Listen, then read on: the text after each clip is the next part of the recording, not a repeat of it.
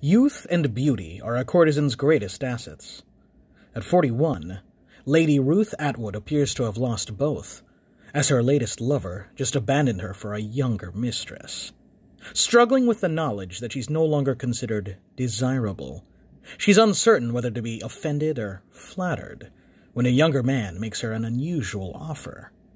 In need of funds, she agrees, but then she does the unthinkable. She falls in love. Despite his reputation as a man's man, Baron Garrick Stratfield has never been with a woman.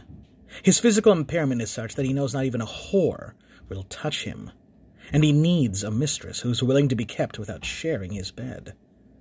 But passion is just a delicious kiss away, because his new mistress is wreaking havoc with his senses.